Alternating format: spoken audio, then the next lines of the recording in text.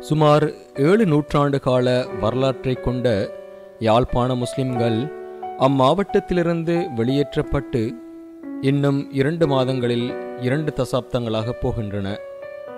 இன்று புத்தளம் நீர்கொழும்பு மட்டக்குளிய கொழும்பு பாணந்துரை போன்ற இடங்களில் கலைந்து வாழும் யாழ்ப்பாண முஸ்லிம்கள் நீண்டகால வரலாற்றை கொண்டவர்கள்.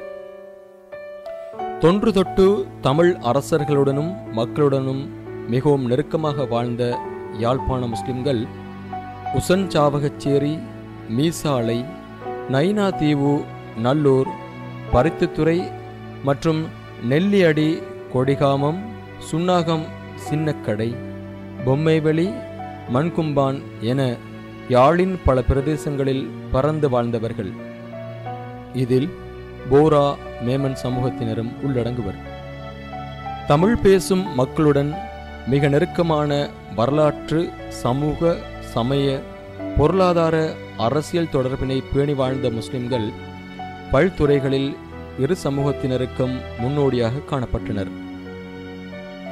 மூனா காவண்ணா அப்துல் காதரின் கடை எசீமா pictures palace NMS Sultan transport MSM sons போன்ற வர்த்தக நிறுவனங்கள் முறையே ஆட்வையா கண்ணாடி போக்குவரத்து கட்டிடம் போன்ற துறைகளில் மாவட்டத்தின் முன்னோடி நிறுவனங்களாக காணப்பட்டன.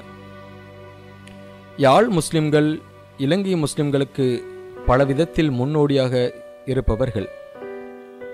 கல்வி புரட்சியை ஏற்படுத்திய ஏஎம்ஏ அசீஸ் துருக்கி தொப்பி போராட்டத்தை முன்னெடுத்த எம் அப்துல் காதர் வைத்தியர் மைமூனா ஆகியோர் முறையே நிர்வாக சட்ட மருத்துவ துறைகளில் முஸ்லிம்களிடையே முதல் முன்னோடிகளாவர். Doctor Sultan MSAM Raja MMC Basheer போன்றவர்கள் முறையே யாழ்ப்பாண மாநகர சபையின் முதல்வராகவும் உப முதல்வராகவும் பதில் முதல்வர்களாகவும் இருந்து தமிழ் முஸ்லிம்கள் கழகங்களுக்கு அரசியல் தலைமை வகித்தவர்கள். சுபைர் இளங்கீரன் மூனா கைலாசபதி போன்றவர்களுடன் இலக்கியவாதியாகவும் நாவலாசிரியராகவும் இருந்து யாழில் தமிழ் மொழிக்கு தொன்றாற்றியவர். இத்தகைய தொன்மையானதும் உறுதியானதுமான வரலாற்றையும் சமூக உறவையும் பொருளாதார பலத்தையும் கொண்ட முழு யாழ் முஸ்லிம் சமூகமும் கனவிலும் நினைத்து பார்த்திடாத மரணச் செய்தியை எதிர்கொண்டார்கள். ஆயிரத்தி தொள்ளாயிரத்தி தொண்ணூறு அக்டோபர் முப்பதாம் தேதி அன்று.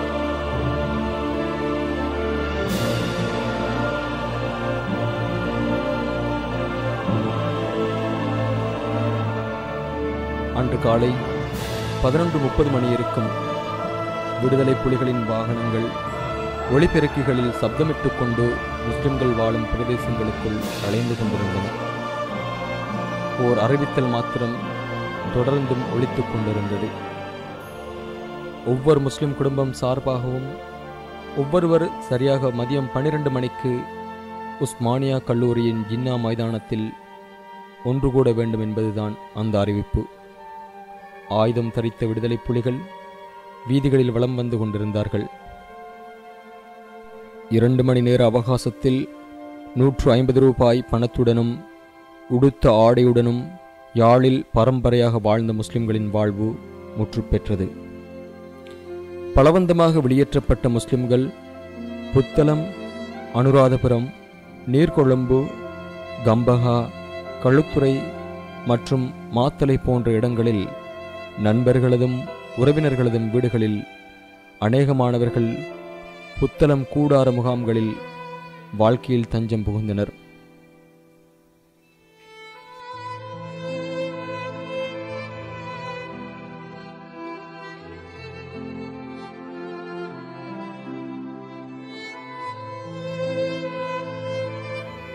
இவ்வாறு கஷ்டகரமான வாழ்க்கையில் இருந்த வடமாகாண முஸ்லிம்களுக்கு ஆயிரத்து தொள்ளாயிரத்து தொண்ணூறுகளில் ஜனாதிபதி பிரேமதாசவின் ஆட்சி காலத்தில் முஸ்லிம்கள் உரிய பாதுகாப்பு வழங்கப்படவோ இடமிருந்த வாழ்க்கைக்கு தேவையான வசதிகள் செய்து கொடுக்கப்படவோ இல்லை. மேல்குடியமர்த்துகின்ற முயற்சிகளும் மேற்கொள்ளப்படவும் இல்லை. ஆயிரத்தி தொள்ளாயிரத்தி தொண்ணூற்றி நான்காம் ஆண்டில் ஜனாதிபதி சந்திரிகாவின் ஆட்சி காலத்தில் முஸ்லிம் காங்கிரஸ் தலைவர் மர்ஹூம் எம். எச். எம். அஷ்ரஃப் புனர்வாழ்வு அமைச்சரானதும் இடம்பெயர்ந்த மக்களது வாழ்க்கையில் குறிப்பிடத்தக்க வசதிகள் செய்து கொடுக்கப்பட்டது. கூட்டாக நலன்புரி முகாம்களில் வாழ்ந்தவர்கள் தமக்கென காணித்துண்டுகளையும் பெற்று நிரந்தரமற்ற வீடுகளை கட்ட முடிந்தது. புதிதாக திருமணம் முடித்த தம்பதிகள் இருபத்தி ஐயாயிரம் ரொக்கப்பணம் பெற முடிந்தது. சந்திரிகாவின் ஆட்சிக்கால பகுதியில் ரெவிரச படையெடுப்பின் மூலம் யாழ்ப்பாண குடாநாடு அரச கட்டுப்பாட்டின் கீழ் கொண்டுவரப்பட்டாலும் தரைவழிப்பாதை திறக்கப்படாத நிலையில் முஸ்லிம்களின் பாதுகாப்பை உத்தரவாதப்படுத்தாத சூழலில் முஸ்லிம் மீள்குடியேற்றத்துக்கான முயற்சிகள் மேற்கொள்ளப்படவில்லை. இரண்டாயிரத்தி ரெண்டு பிப்ரவரி இருபத்தி மூன்றில் ரணில் பிரபா புரிந்துணர்வு உடன்படிக்கையையும் ஏ நைன் தரைவழிப்பாதை வழித்திறப்பும் யாழ் முஸ்லிம்களுக்கு பதினோரு வருடங்களின் பின்னர் தமது தாயகத்தை மீண்டும் பார்வையிட கிடைத்தது. பதினோரு வருடங்களின் பின்னர் தாம் பிறந்து வளர்ந்த மண்ணை தாம் மீண்டும் பார்க்க கிடைத்த காட்சியை இட்டு அவர்கள் எவ்வாறு அகமகிழ்ந்திருப்பார்கள்? அவர்கள் தமது தாயகத்தை மீண்டும் காண கிடைத்த போது பிரமித்து போனார்கள். எவ்வாறு அவர்களிலிருந்து பதினோரு வருடங்களுக்கு முன்னர் யாழை விட்டு பலவந்தமாக வெளியேற்றப்பட்ட போது அவர்களால் அதனை நம்ப முடியவில்லையோ?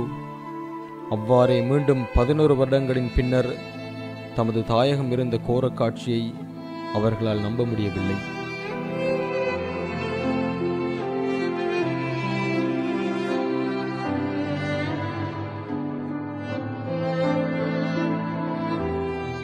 அவர்கள் வாழ்ந்த வீடுகள் கல்வி பயின்ற பாடசாலைகள் இறைவனை சுஜூது செய்த மஸ்ஜிதுகள் அவர்கள் நடந்து தெரிந்த பாதைகள் எல்லாம் இடிபாடுகளுடன் கோரக் காட்சி அளித்தன.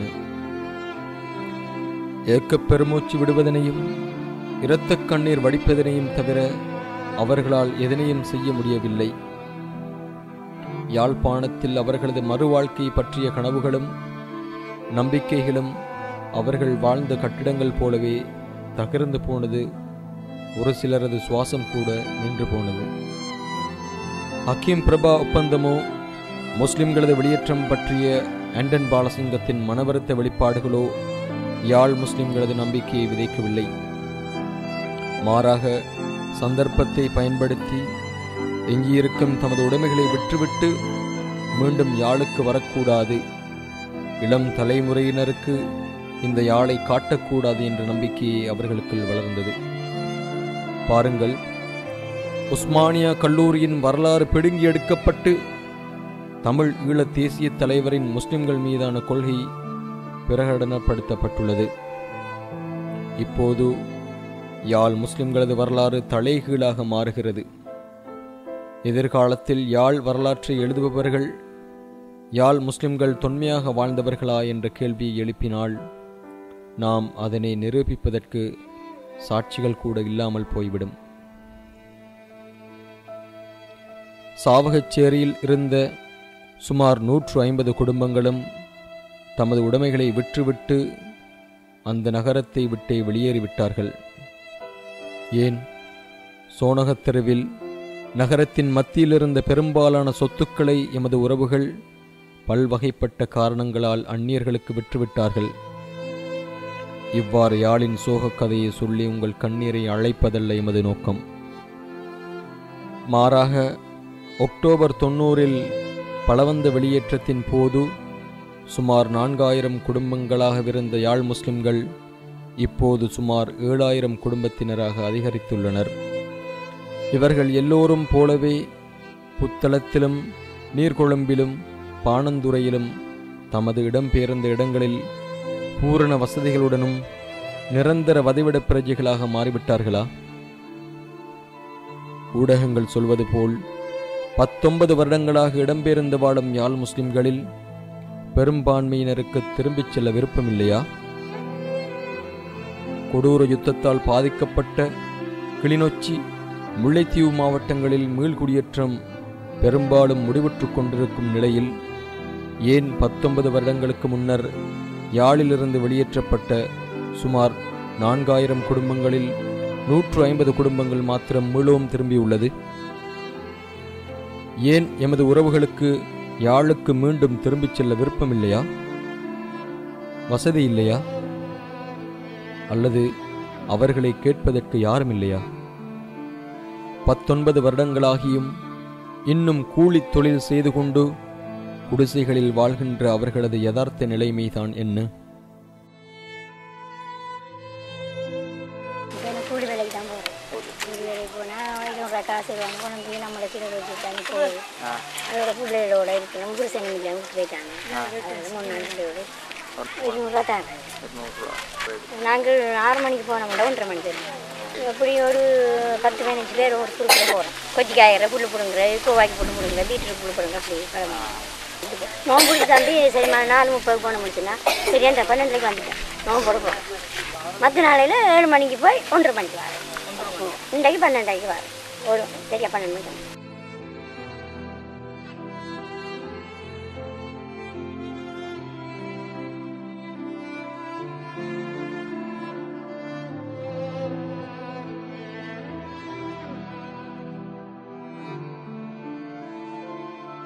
தோட்டம் வழிய வேலைக்கு போகிறதுக்கு பெண்களுடைய சம்பளம் தான் ஆண்களுக்கும் கொடுக்குறாங்க. இப்போ அதால் ஆண்கள் அந்த வேலையில் செய்ய போகிறதில்ல கொச்சிக்காய வெங்காயம் பட்டு அதுக்கெல்லாம் அவங்க போகிறதில்ல இப்போ அதால் பெண்கள் மட்டும்தான் வேலைக்கு போகிறாங்க அவங்கள் கொண்டு வர வருமானத்தை கொண்டு தான் குடும்ப சீக்கியத்தை கொண்டு போகிறாங்க இருந்து செய்கிறதுக்கு இந்த கைத்தொழில்கள் அதுகள் தெரிஞ்சிருந்தாலும் கூட அதுக்குரிய பொருளாதாரங்கள் அப்படியான பிரச்சனைகள் இருக்கிறதால இதுகளையும் மலம் கழிக்கிறதுக்கு ஒரு மூன்று கிலோமீட்டர் கடற்கரை காட்டுக்கு போய் பெண்கள் அங்கே தான் போகிறாங்க எனக்கு விருப்பம் இல்லை இப்போ பயம். தனியே நான் இப்போ புள்ள ரெண்டு குமர் இருக்கு எனக்கு. ரெண்டு குமரும் படிக்குது இந்த ஓ- இது. அப்போ அந்த குமர் பிள்ளை மாப்பிள்ளையே ஆன மடியில் வெட்டி மவுத்தாக்கிட்டாங்க வேலைக்கு போன இடத்துல வெட்டி மவுத்தாக்கிட்டாங்க அப்போ ஒத்தரும் இல்லை எனக்கு உமா பாப்பாவும் மூத்து தங்கச்சி நான் பிள்ளைகள் ரெண்டு நாங்கள் இருக்கோம். அப்போ என்னண்டு போகிறது எங்களுக்கு ஆம்பளை துணை இல்லை பையன் எனக்கு எல்லாம் உடஞ்சி போயிட்டு தானே. நான் அங்கே போய் இருக்கிறதுக்கு இயலாது. இல்லை உடஞ்சி இப்போ அரசாங்கத்தில் கட்டி கொடுக்கணும் சொல்லி நான் யாரும் போக விரும்பல அங்கே நாங்கள் எங்களோட சகோதரங்கள் ஒன்றும் போகவில்லை. நாங்கள் இங்கே வீடு கட்டி தந்துட்டாங்க அதை இருந்துட்டு. நான் பிள்ளைகள் இங்கே வந்து பிறந்ததால் அதை வந்து யாழ்ப்பாணத்தை பெருசாக விரும்பையில் நாங்கள் இனி அங்கே போய் இருக்க விரும்பையில் இந்த இடங்கள் வசதிகள் இப்போ எல்லாம் குறைவால. இது யுத்தம் முடிவருவதற்கு முன்னால் அவர்களது சொந்த மண்ணுக்கு திரும்பும் ஆசை இருந்தும் உயிருக்கு பயந்து இன்னும் இன்னும் இழப்பதற்கு பயந்து பாதுகாப்பில்லாமல் போவதற்கு அஞ்சிய வண்ணமே இருந்தனர். ஆனால் இப்போது யுத்தம் முடிவுற்றுள்ளது. சூழல் மாறியுள்ளது. பத்தொன்பது வருடங்களாகியும் இடம்பெயர்ந்த இடங்களில் தம்மை ஸ்திரப்படுத்த முடியாது. குடிசைகளில் வாழும் மக்கள் தமது சொந்த இடத்துக்கு போவதற்கு விருப்பமில்லாமல் இருப்பார்களா? பிரச்சனை பள்ளி வாசல் ஒன்று இல்லாதெல்லாம் இப்போ கரைச்சலாகி இப்போ நோம்புக்குள்ள வந்து இப்போ இருக்கிறதுக்கு ஜனங்க லீவு தானே. பிள்ளைகள் ஸ்கூல் லீவை கொண்டு வந்து வச்சுக்கிறதுக்கு திராவியா தொழுகிறது குளத்தடி அங்கே கிள்ளச்சி பள்ளிக்கு போகணும். மூணு கட்ட போகணுமே எப்படி இல்லை பள்ளி வாசல் இல்லையேன்னு இருக்கிற ஜனங்களும் இப்போ போகிறதுக்கு வலிக்குது பள்ளி வாசலில் நாங்கள் என்ன செய்யறது? விருப்பமாக தான் இருக்கிறாங்க. வந்து நிற்கிறாங்க ஆனால் கட்டி கிட்டி ஒரு தற்காலிக வீடுகளை போட்டு அமைச்சுக்கிட்டு அவங்களுக்கு வசதிகளை செஞ்சு கொடுத்தா வருவாங்க. வ- இருந்துக்கிறாங்க இப்போ எங்களோட சொந்த மண்ணில் இருந்தால் தான் எங்களுக்கு ஒரு மன திருப்தி ஒன்று இருக்குது சந்தோஷமாக இருக்கும்னு நான் நினைச்சேன். அரசு சார்பற்ற மக்கள் பணிமனையின் கருத்தின்படி தற்காலிகமாக முகாம்களில் வாழும் குடும்பங்கள் மீண்டும் யாழ் செல்வதற்கு ஆயத்தமாக இருக்கின்றன. குறிப்பாக ஆயிரம் குடும்பங்கள் அடிப்படை வசதிகள் வழங்கப்படும் இடத்து உடனடியாக மீள்குடியேற்றத்துக்கு ஆயத்தமாக இருக்கின்றனர் இதனை அண்மையில் நோர்வே அகதிகள் நிறுவனம் நோர்வேஜியன் ரெஃப்யூஜிஸ் கவுன்சில் நடத்திய ஆய்வும் உறுதிப்படுத்தியுள்ளது. எனவே யாழில் மீண்டும் மீள்குடியேறி வாழ விரும்பும் குடும்பங்களின் தேவைகளை அறிந்து தடைகளை நீக்கி அவர்களது மீள்குடியேற்றத்திற்கு வழி செய்வது எமது கடமையாகாதா? குறிப்பாக இந்த புனித நோன்பு மாதத்தில் பசித்திருந்து அடுத்த மனிதர்களின் நோவினையையும் வேதனையையும் அறிய முற்படும் நாம் யாழ் முஸ்லிம்களின் நோவினையையும் வேதனையிலும் பங்கு கொள்ளக்கூடாதா? யார் காலை பொழுதாகியும் முஸ்லிம்களுடைய விடயங்கள் பற்றி சிந்திக்கவில்லையோ அவர் எம்மை சார்ந்தவர் அல்ல என்ற ரசூல் சல்லாஹூ அலி வசல்லம் அவர்களின் ஹதீஸ் இதே விடயத்தை வலியுறுத்தி பகற்பொழுதாகியும் இரவாகியும் இதனை மீண்டும் மீண்டும் வலியுறுத்தி வந்திருப்பதானது நாம் சமூகத்தை பற்றி சிந்திக்க வேண்டியதன் அவசியத்தை சுட்டிக்காட்டுகின்றது. இந்த வகையில் எம்எஃப்சிடி நிறுவனம் யாழ் மாவட்டத்திற்கு பல விஜயங்களை மேற்கொண்டு பலதரப்பட்ட தரப்பினருடன் கலந்துரையாடி குறிப்பாக தற்போது யாழில் குடியேறி வசிக்கும் ஆண் பெண் உட்பட சுமார் அறுபது நபர்களுடன் யாழ் மாவட்ட உஸ்மானியா கல்லூரியிலும் சுமார் ஐம்பது நபர்களுடனும் நீர்கொழும்பு புத்தளம் கொழும்பு போன்ற பகுதிகளில் வாழும் சிலருடன் மற்றுமொரு கலந்துரையாடலை நீர்கொழும்பிலும் மேற்கொண்டு யாழ் முஸ்லிம்களது மீள்குடியேற்றம் சம்பந்தமான பிரச்சினைகளை கலந்தாலோசித்தது. அத்தோடு அதனை பட்டியல்படுத்தி அதில் பிரதானமாக பின்வரும் விடயங்களை அடையாளப்படுத்தியது. ஒன்று இறுதி யுத்தத்தினால் பாதிக்கப்பட்ட அண்மை கால இடம்பெயர்ந்த மக்களது மீள்குடியேற்றத்தில் காட்டப்படும் அக்கறை நீண்டகால இடப்பெயர்வில் வாழும் குறிப்பாக முஸ்லிம் மக்களது மீள்குடியேற்றத்தில் அரசினாலோ அல்லது மனிதாபிமான நிறுவனங்களினாலோ காட்டப்படவில்லை. இரண்டு அண்மைக்கால மக்களின் மீள்குடியேற்றத்திற்கான பணக்கொடுப்பனவுகளும் அடிப்படை வசதிகளும் செய்து கொடுக்கப்படுவது போல் நீண்டகால இடப்பெயர்வில் வாழும் முஸ்லிம் மக்களது மீள்குடியேற்றத்திற்கு செய்து கொடுக்கப்படவில்லை.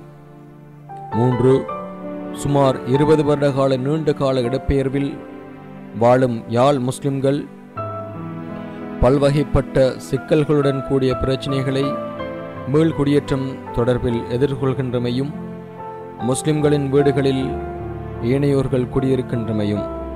நான்கு அதிகரித்த குடும்பத் தொகையை கொண்டவர்களுக்கு மட்டுப்படுத்த காணி பிரச்சினை ஐந்து அதிகரித்த குடும்பத் தொகையினருக்கு வீடில்லா பிரச்சினை. ஆறு இருபது வருட நீண்டகால இடைவெளியினால் முன்னர் மேற்கொண்ட தொழில்களை மீண்டும் மேற்கொள்வதில் காணப்படுகின்ற சிக்கல்கள் என்பனவாகும்.